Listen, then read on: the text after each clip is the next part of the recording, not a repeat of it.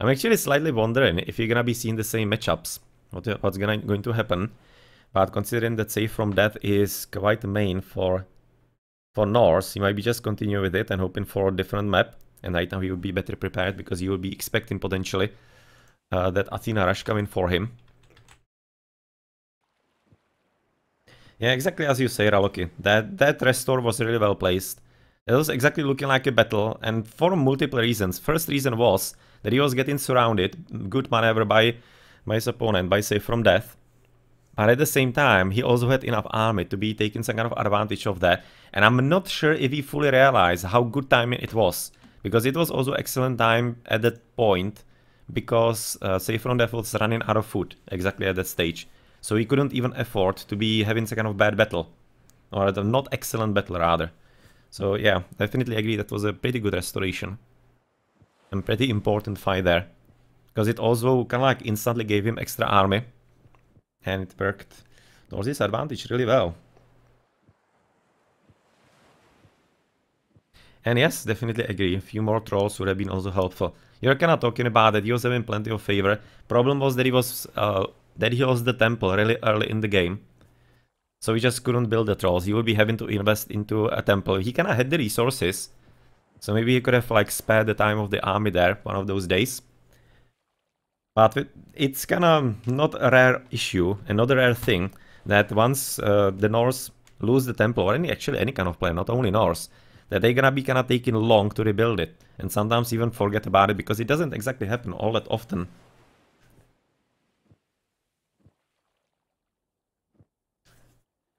Uh, well, Shelty don't mind the chat there too much. Fortunately, it's, it is what it is. It's trying to do and what we can to basically remove like the most egregious case cases. So hopefully Kilty is gonna be also keeping an eye on that, so that we don't get anywhere like extremely over the line. But at the same time, Shelty, I mean like you are in the tournament finals, you are playing for the prize pool, you already have a prize pool assured, and they don't. So like who's the better guy here? who's the one who's on top of on top of everything? you're gonna be the one emerging from this match from some kind of it's some kind of prize pool, right? And how many actually ended in the previous rounds already? So just, I guess, no need to be taking Twitch chat too, too seriously. But yet again, here we go. This is gonna be now another game, game number two coming forward. And it seems that actually then Scaro is having, the is having no vetoes. Okay, so it seems like that he got both of them then. Thanks for the info. That's gonna be right now Midgard. And Safer is gonna be getting set. Yeah, I was kinda thinking it might happen. Can see even Tickle switching into Oranos. I, I was just really thinking that might just happen. This kind of switch. Let's see if they're gonna be right now and how they're gonna be playing it. Oh well, that's a bit unfortunate. So we're gonna be having to exit. And they're gonna be needing to start the game again.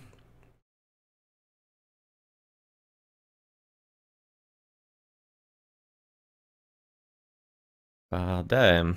Damn, damn, damn. That would have been interesting matchup. No, I'm not sure it would be that interesting for the for the Oranos, but it's it's a good map. And I was having half thought that there was actually Norse in the game against the set in there, but nonetheless, not the case. So I'm thinking I'd set Oranos on Midgard. Actually not too bad. Midgard is an eggy map, but Oranos, I mean like every map is Oranos' map, so doesn't matter what he plays. He's good at absolutely everything all across the board.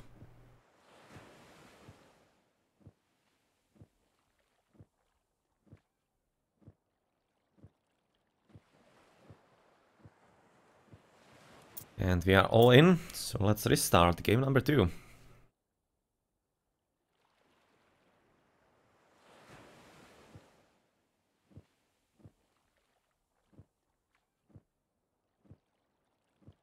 Uh, okay, so he was going to play that, so they're gonna be choosing it. That's actually a really good fair play.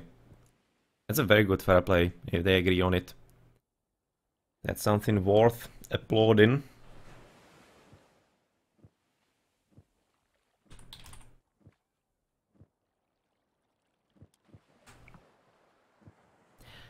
Therefore, let's see. Hopefully this time, for the second time, it's gonna be spawning all right. You don't, you won't be having any kind of issues.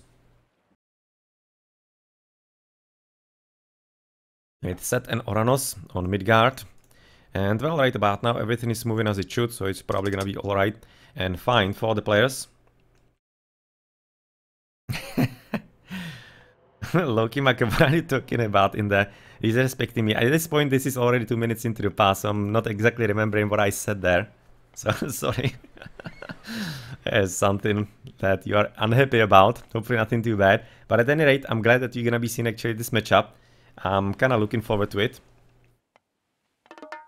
Uh, there's gonna be, of course, quite a bit of a home turf for the Eggy. He's gonna be able to spam the dogs absolutely everywhere. I'm just wondering if, yet again, this time there's gonna be some water fight. From the Eggy, there often is.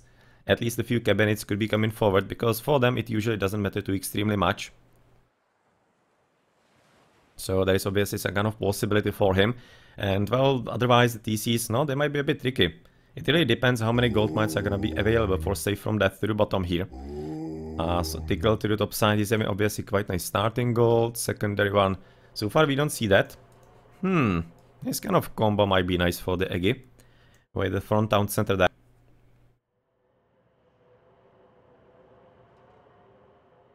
Yeah, so you're gonna be right now looking all the way to the front. That will be right now resulting into quite a safe amount of berries in there. As this gold mine is kind of bit frontish, but with a tower and having quite a few wood lines nearby. It's gonna be fairly easy for him to wall. Shouldn't be anything all that extremely difficult, as otherwise we don't really yet see the gold. And that's extremely important, because if he gets, for example, gold mine about like there, it's like about here, then this might not be too tragic for safe from death. I'm just slightly wondering if he's gonna be going for a second TC and faster heroic from there.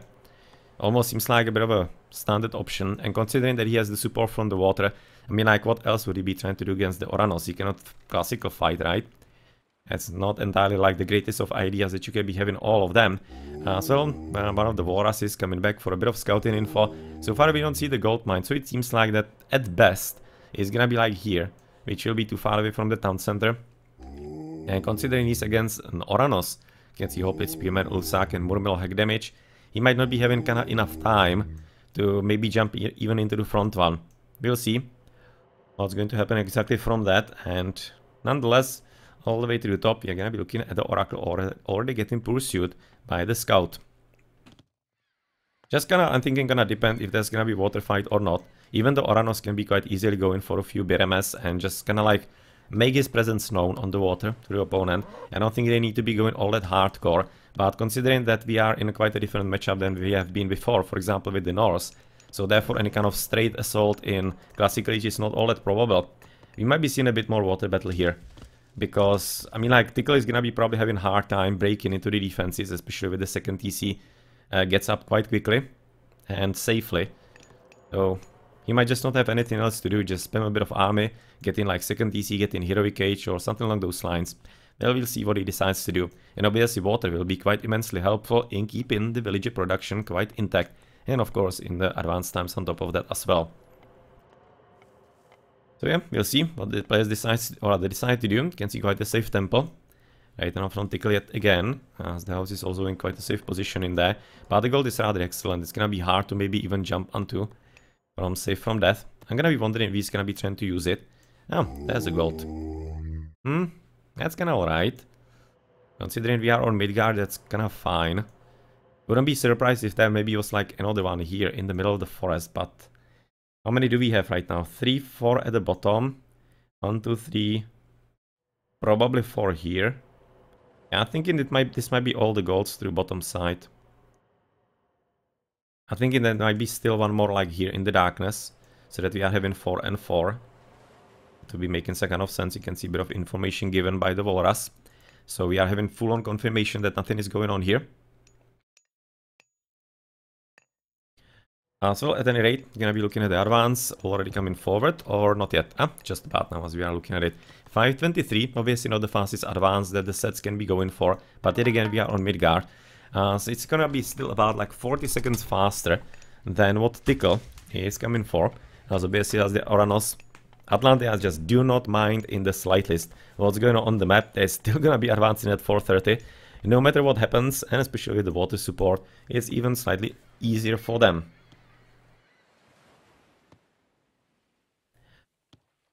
Okay, so to the top, we're gonna be so far only two dogs. He was going quite aggressively as far as the fish is. He's gonna be right now getting more fishing boats. Huh. Okay. There was some kind of auto queue, yeah, yeah, into a bit of mess. I was kinda surprised that he wouldn't be going for at least a few of them.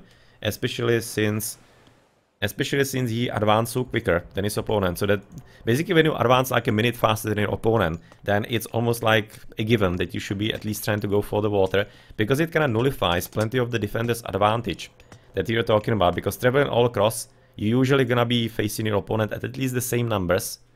If not higher. Well, if you advance a minute later, then you're gonna be having like same numbers.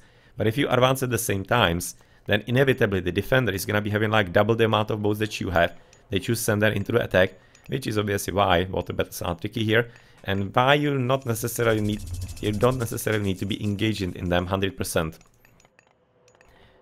Okay, but the boats are definitely gonna be coming in for blue. How's he looking?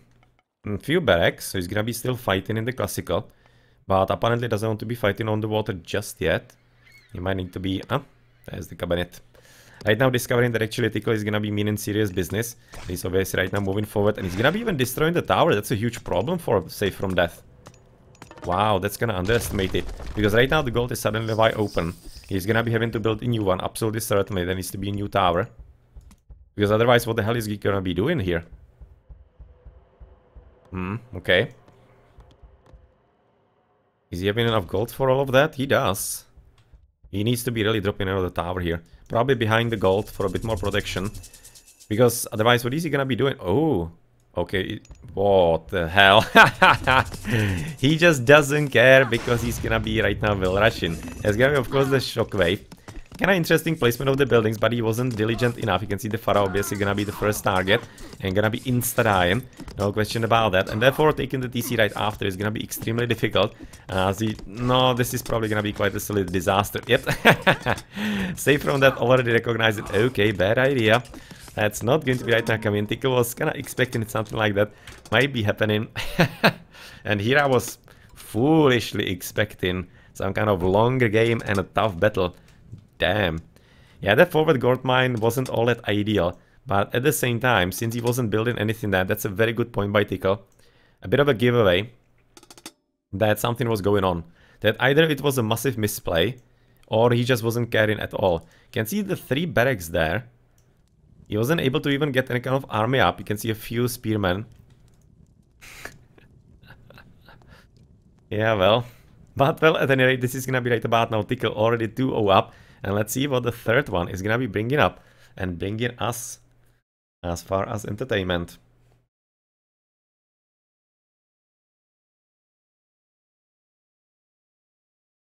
It's gonna be resulting into then not much important important information of course here in the post game. Just having a lot, a lot more stronger economy because of the Atlantean powerhouse. that was really quite something in there.